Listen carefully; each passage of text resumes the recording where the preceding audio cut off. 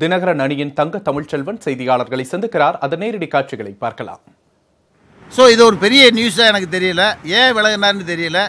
சந்தர்ப்பம் கிடைச்சா பேசி பார்க்கறது நல்லது. இந்த இடைக்கால அமைப்பே வந்து பிடிக்காத காரணத்தெல்லாம் தொடர்ச்சி அவங்களோட தொண்டர்கள் மத்தியில் ஒரு அதிருப்தி ஏற்படுத்துன்னு சொல்லியிருக்காங்க. அதன் முதல் கட்டமாக தான் அந்த நாசம் வெளியேறிக்கிறான்னு சொல்லியிருக்காங்க. இல்லை இடைக்கால அமைப்பு எங்களுக்கு வேணும்ல இப்போ. இப்போ நான் இப்போ கொள்கை வரப்பு செயலாளர். எந்த கட்சி கொள்கை வரப்பு செயலாளர் அண்ணாதிமுக அம்மானியை பயன்படுத்தக்கூடாதுன்றீங்க. அதில் அதில் தான் இருந்தேன் நாங்கள் அப்போ நான் ஒரு கொள்கை வரப்பு ஒரு லெட்டர் பேடு போலீஸ் ஸ்டேஷன்லேயே போய் மீட்டிங் நடத்தணும்னு சொன்னால் அனுமதி இல்லையே. இன்றைக்கி டெல்லி ஹைகோர்ட்டு டைரக்ஷன் பிரகாரம் அந்த அமைப்பை ஏற்படுத்தியிருக்கோம். நல்ல அமைப்பு. குக்கர் சின்னம் கிடைச்சிருக்கு. இதை வச்சு நாங்கள் போட்டி தேர்தலை சந்தித்து போட்டி போட்டு இந்த அண்ணாதிமுக முழுவதும் எங்ககிட்ட தான் இருக்குது அப்படின்றத நிரூபித்து அண்ணாதிமுக ரெட்டலையும் வாங்குறது எங்களுடைய நோக்கம். சார் அந்த மாதிரி வந்து தனி கட்சி தூங்கக்கூடாதுன்னு சொல்லி நீங்க புகழேந்தி உட்பட ஒரு எதிர்ப்பு தெரிவிச்சீங்க. தனி கட்சி தொடங்கக்கூடாதுன்னு சொன்னது உண்மை. தனி கட்சி தொடங்கினா நாங்கள்லாம் போய் சேர போக முடியாதுன்றது உண்மை. இப்போ அமைக்கிறது ஒரு அமைப்பு தான். கட்சி கிடையாது. ரெஜிஸ்டர்டு பார்ட்டி கிடையாது இது.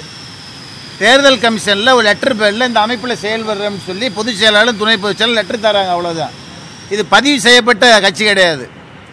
ஆயினால தான் அந்த இருபது எம்எல்ஏக்கள் கூட இருக்கும் இதை பதிவு செஞ்சுட்டா இந்த இருபது எம்எல்ஏக்கள் கூட போய் சேர முடியாது. ஸோ நாங்கள் இப்போ போய் வேலை செய்கிறதுல யாருக்கு எந்த இடையூறும் இல்லை. எலெக்ஷன் கமிஷன் எங்களை ஆன்டி டிஃபெக்ஷன் லாவில் கட்டுப்படுத்தாது. சார் அது மாதிரி வந்து இப்போ நீங்க வந்து கொடி ஆரம்பிச்சிருக்கீங்க சார். அந்த கொடியில வந்து எம்ஜிஆருடைய புகைப்படம் இல்லைன்னு சொல்லி திருநாகர் எப்படி? நெல்லுக்கணி போல நெல்லுக்கணி போல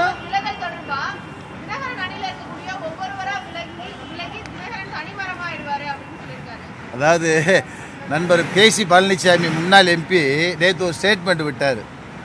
தமிழ்நாடு நலன் கருதி இன்றைக்கி பிஜேபி கூட அங்கம் வகித்த சந்திரபாபு நாயுடு முதலமைச்சர் விளையிருக்கார். விலையிட்டு நம்பிக்கையில்லா தீர்மானம் கொண்டு வர்றோம்ன்ற ஒரு நல்ல சோர்ஸை கொடுக்குறாரு. இந்த அதிமுகவை நம்பிக்கையில்லா தீர்மானம் பிஜேபி மேலே கொண்டு வந்து நாங்கள் சொல்லலை.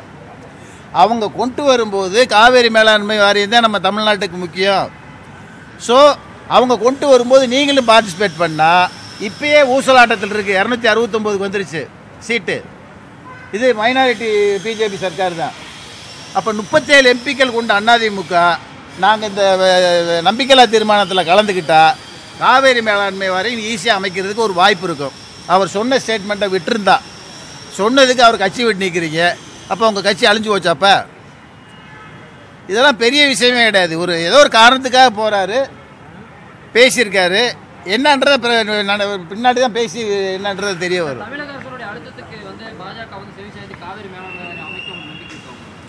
எனக்கு என்னமோ காவேரி மேலாண்மை வாரியம் அமையாது. கர்நாடகத்தில் தேர்தல் முடியாமல் அமைகிறதுக்கு உண்டான வார்த்தையும் சாத்தியம் இல்லை. இந்த எதிர்க்கட்சிகள் கொண்டு வர்ற நம்பிக்கையில்லா தீர்மானத்தை பயன்படுத்தி அதிமுக எம்பிக்கள் ஆதரவு தெரிவித்தா காவேரி மேலாண்மை வாரியம் உடனே வர வர்றதுக்கு வாய்ப்பு இருக்குது நேற்று கட்சியில வந்து புதிய நிர்வாகிகளை நியமனம் பண்ணியிருக்காங்க. அமைப்பு செயலர் வந்து கொள்கை அமைப்பு செயலர் எல்லாம் நியமனம் பண்ணியிருக்காங்க. அந்த நியமனத்தை எப்படி பாக்குறீங்க ஒன்றும் அதிருப்தி எதுவுமே இல்லை. நாங்கள் தான் ஆரம்பத்திலேருந்து சொல்கிறோம் புரட்சி தலைவர் எம்ஜிஆர் உருவாக்கிய பைலாவில் அதிமுக ஹிஸ்ட்ரியில் ஒரு பொதுச் செயலாளருக்கு மட்டும்தான் பதவி போடுவதற்கோ நீக்குவதற்கோ அதிகாரம் இருக்குது எங்கள் பைலா பிரகாரம். என்ன? ஒரு ஒருங்கிணைப்பாளருக்கோ துணை ஒருங்கிணைப்பாளருக்கோ நீக்குவதற்கோ போடுவதற்கோ அதிகாரம் இல்லை. எலெக்ஷன் கமிஷனை இன்னும் அக்செப்ட் பண்ணலை. இவங்க ஒருங்கிணைப்பாளர் துணை பண்ணலை. கேசி பழனிசாமி அருமையாக சொல்லியிருக்காரு நீ உங்கள் நியமனத்தை வேணா தேர்தல் கமிஷன் ஏற்றுக்கல நீங்கள் எப்படி நீ நீக்கிறீங்க நேற்று நான் கேட்டார். ஸோ இவங்க நியமனமும் செல்லாது நீக்குவதும் செல்லாது. நானும் இன்னைக்கு தேனி மாவட்ட செயலாளர் தான் அதிமுக உறுப்பினர் தான். ஸோ இவங்க நியமனம் செல்லாது இவங்க எடுக்கக்கூடிய நடவடிக்கை எங்களை கட்டுப்படுத்தாது.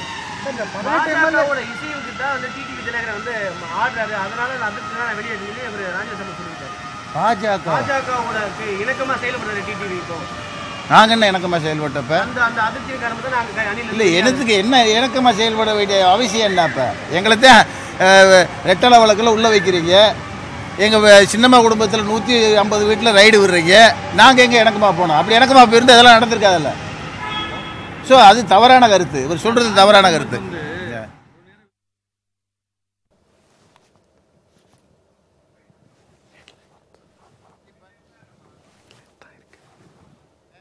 ஒரு இக்கட்டான சூழ்நிலையில் எங்களுக்கு பிரச்சாரம் பண்ணார். என்ன காரணத்துக்கு வெளியே போனான்னு தெரியல.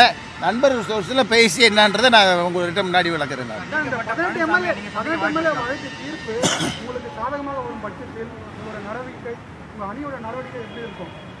முத வரட்டும்ப்பா.